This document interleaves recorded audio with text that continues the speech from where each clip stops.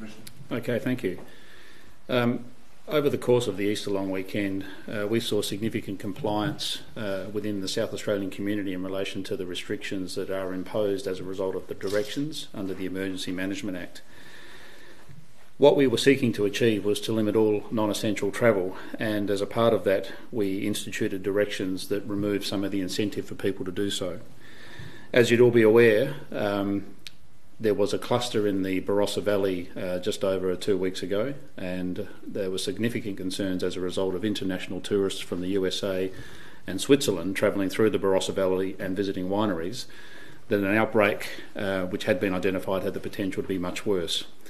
This required swift action, and swift action was taken to restrict the potential for people to uh, contract the virus by being exposed to those locations where these tourists had visited.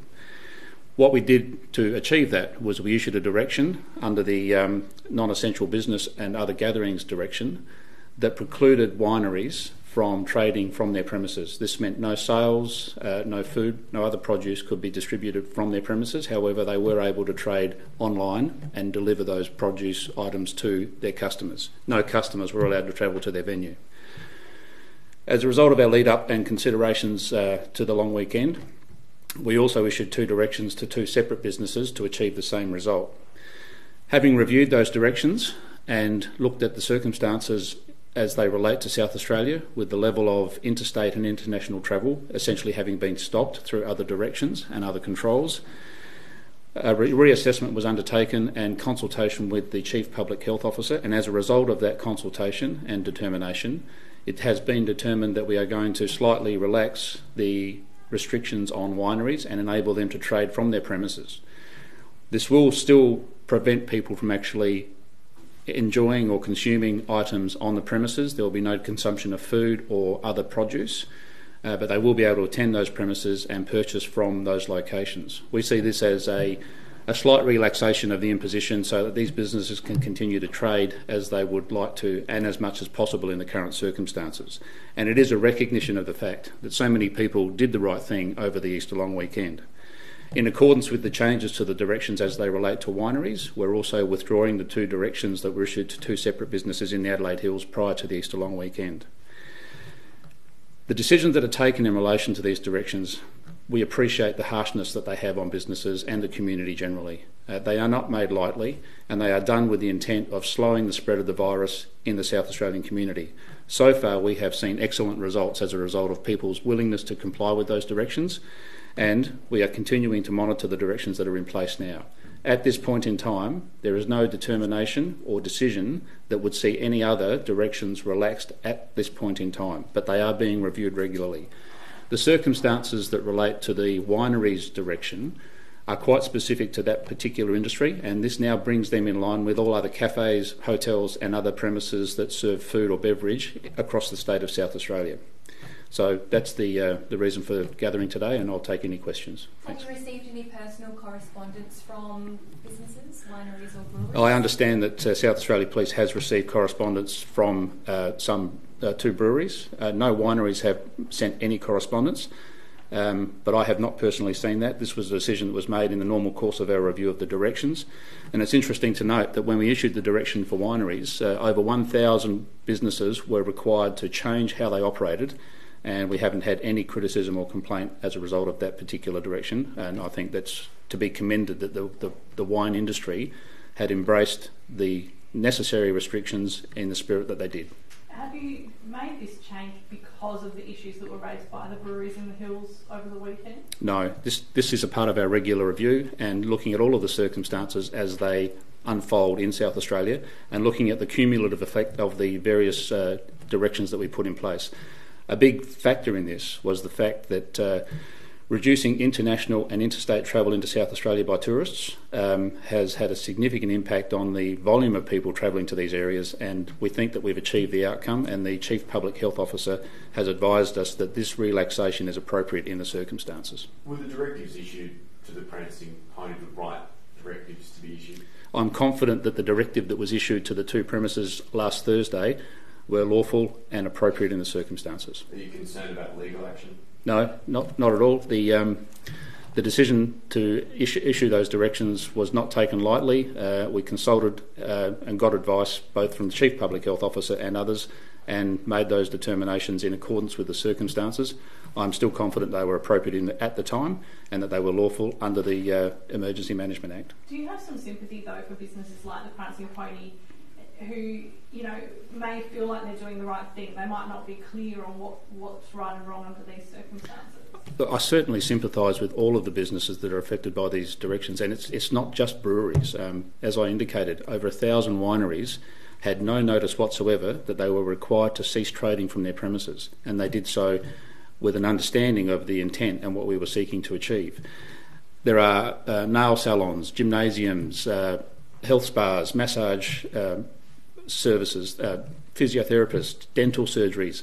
There are so many businesses that are adversely affected by these directions, and it goes to every decision is how necessary are these and what other options are in place before we make these decisions. And we certainly appreciate the impact we're having on businesses, on their employees, on the community generally. Um, it is a very difficult decision to make in some circumstances, but one we are making based on the best advice available with the best intentions of reducing the spread of this virus. Given that, do you understand that it can be confusing for some individual businesses as to whether they're how they're impacted, where they fall in terms of the definition of what a winery is, that it can sometimes be confusing. Well, we appreciate the confusion that can come from these directions. They are produced um, with as much advice as we can obtain, and they are done in relatively quick time because of the need to act swiftly to prevent uh, an outbreak from becoming worse. Uh, we do provide advice and we make ourselves available to provide clarification where possible. And some of the, the questions we are receiving uh, result in further amendments to those directions so they become more clear or we re- remove any ambiguity. So we are listening to what people say, but uh, that doesn't remove the need for us to make these directions as, in as quick a possible way to ensure that we reduce the risk of a spread of the virus. Given that the Prancing Pony is a brewery rather than a winery, uh, can you explain why actions that were taken are consistent with the directive that was given that hadn't specified breweries?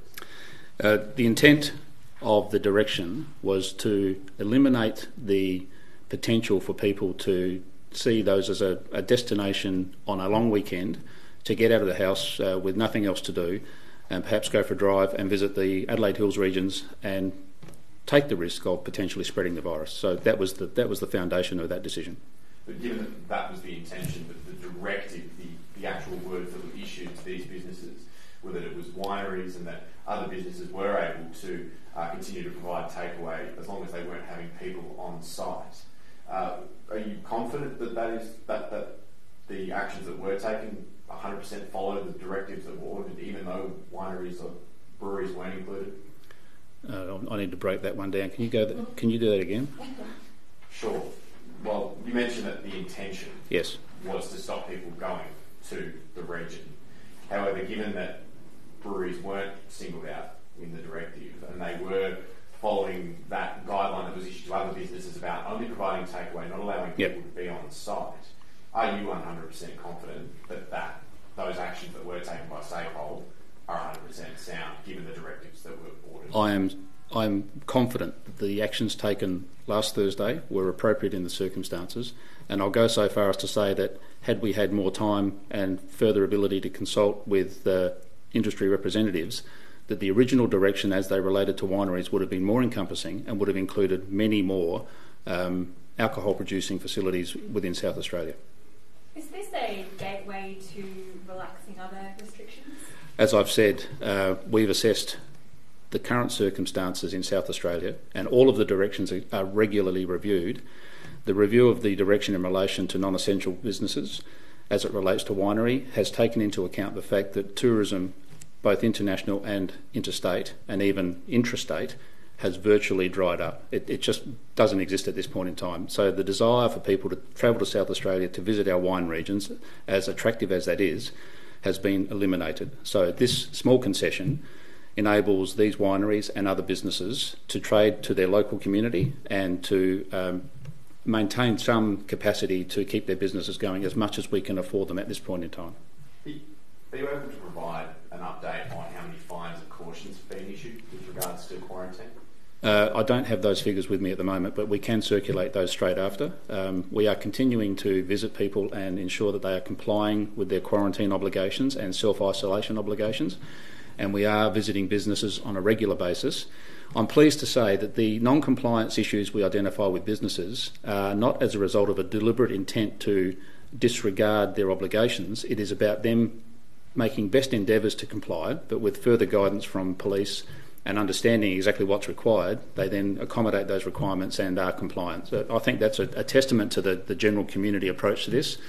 The same as people who are required to self isolate or self quarantine are doing an exceptionally good job of complying with that. And most of the time we visit people, we, we give them advice uh, or a warning and we follow up with uh, an expiation notice if we see that we're being disregarded in terms of providing support to those people. And what's the most outrageous excuse an individual has had to not be self isolating? Well, I haven't had direct contact with the police who are uh, standing on our border checkpoints or visiting people who are com- uh, being vis- uh, checked for compliance. Um, so I don't have that specific information, but I do know that the the tolerant approach that we're taking um, means that for a person to be issued an, an expiation notice means that they are completely disregarding our obligations as a community to protect those more vulnerable, vulnerable people within the community from this virus. And talking about the cross-border travel direction, is there criteria for an essential traveller too broad? Well, there are concessions that allow people to travel into South Australia and not self quarantine for 14 days. The bulk of those are people who live very close to the border and transit across the border on a regular basis for their normal daily activities. And then there are those who are transporting essential goods and services into the state and people who provide an essential service to industry within South Australia. Um, there's no no real likelihood that we would ever be able to prevent that type of uh, tra- uh, transport or um, travel into South Australia. We need that for our community to continue functioning. So uh, it does appear that 50% of the people who cross our borders, either by air or by road, um, are deemed to be essential travellers. But we have police officers there checking their their credentials, their their bona fides, and ensuring that their claims are appropriate. Um, with regard to the 12 fines and 7 cautions that were handed out over the Easter long weekend, you able to provide any more of a breakdown as to how many of them were maybe individuals or businesses or, or anything in that regard? Uh, we can provide that breakdown, I just don't have it. I know a very small number relate to businesses, most of them relate to individuals. And I'll say it again businesses across the state are doing exceptionally well in trying to adhere to the restrictions. Uh, we appreciate that. We understand how hard it is for them to continue trading. Um, and we appreciate the fact that when they are approached by police, they listen and adapt and, uh, and then comply. Final questions. Sorry. Final questions. Just on another um, subject, uh, some a man turned up to court yesterday. Um, he had flu-like symptoms. His partner couldn't attend court because she also had flu-like symptoms. Um, there's been some criticism and some questions about whether police could do more to notify people when they're arrested of their obligations under COVID 19 restrictions.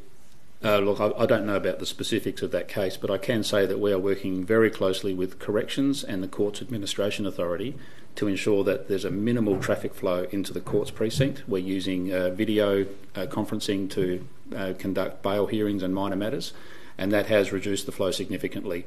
Uh, I'm not aware of any particular complaint about uh, lack of communication to people being arrested.